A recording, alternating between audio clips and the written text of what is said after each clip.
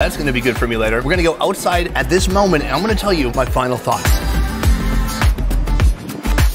Boom! Guys, I'm trying my best to suck in my stomach right now. It's in the wind, it's not helping. Oh, there we go. Guys, that is the video. 19 buffet, I gotta say, it's over $70. If you add the booze, it's uh, around 85. For me, 100% worth it. That is not something you do every Sunday, but maybe something you do once or twice a year. It is glorious. There's so much food. It's an experience. You can just chill out. It's a great time. The people here were very incredible, kind, sweet, and very attentive, coming by every couple seconds. Do you need a seventh glass of wine, sir? You probably shouldn't, but uh, do you want more? Yes, was the answer. In the end, I must say, highly recommend. Otherwise, that is it for this one. Thank you so much for watching. I will see you next time.